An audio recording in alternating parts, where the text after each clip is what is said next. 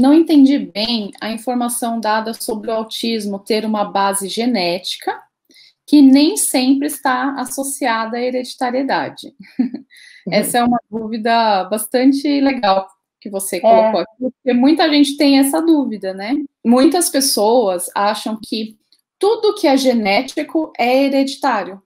E não é verdade. Então, uma frase que eu sempre falo para guardar, para entender, é a seguinte: tudo que é hereditário é genético, mas nem tudo que é genético é hereditário.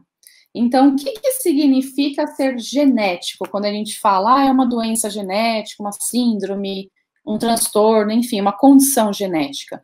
Significa que é uma condição causada por uma alteração lá nas letrinhas do nosso DNA, uma alteração genética.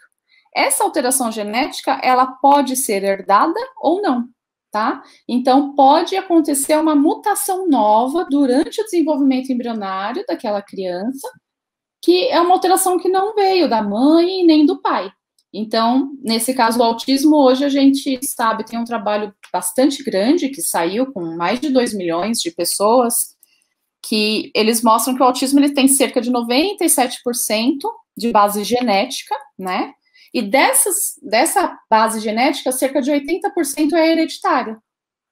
Os outros 20% são mutações novas que aconteceram ali aleatoriamente naquele desenvolvimento embrionário, tá?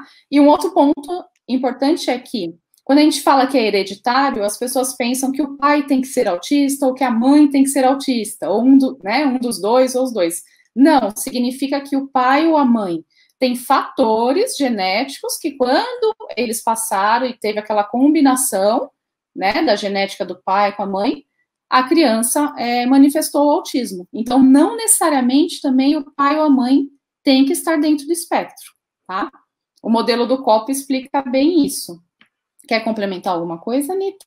É, não, essa frase que você falou no começo, eu, eu aprendi com você quando entrei no doutorado, uhum. porque você me falou, e eu repito, feito um papagaio, todo lugar que eu vou, inclusive ela fez parte das minhas palestras, tinha um slide lá escrito, né? Uhum. Nem tudo que é genético é hereditário, mas tudo que é hereditário é genético.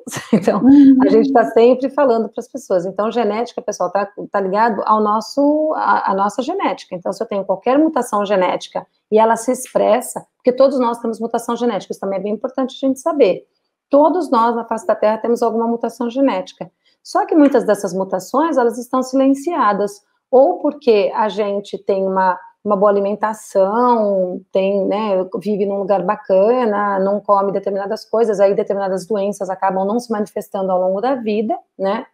É, ou porque outro, outra mutação acaba protegendo aquela, então assim, cada um vai reagir de um jeito o autismo, ele está ligado à genética, porque quando a gente faz testes genéticos em pessoas com autismo, acaba aparecendo mutações. Não são ainda em 100% da população, porque a gente ainda está descobrindo quais mutações genéticas estão associadas realmente àquele fenótipo, ou seja, aquele uhum. comportamento, né, o, que aquela, aquela, aquela criança, aquela pessoa mostra, né, mas, no geral, a gente vai encontrar uma mutação genética. Nem todas estão 100% explicadas, mas a gente sabe que elas existem. Agora, por que elas aconteceram é uma batalha que a ciência tem tido aí, né, doutora Fabi?